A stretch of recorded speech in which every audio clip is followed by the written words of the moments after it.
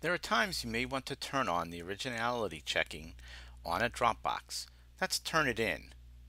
To do this, you need to click on the Content tab on the navbar, click Dropbox. You need to click on the context menu next to the Dropbox in which you want to add the originality checking. Click Edit Folder.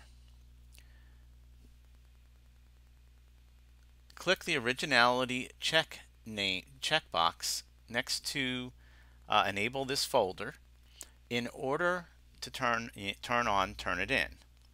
Then click Save and Close.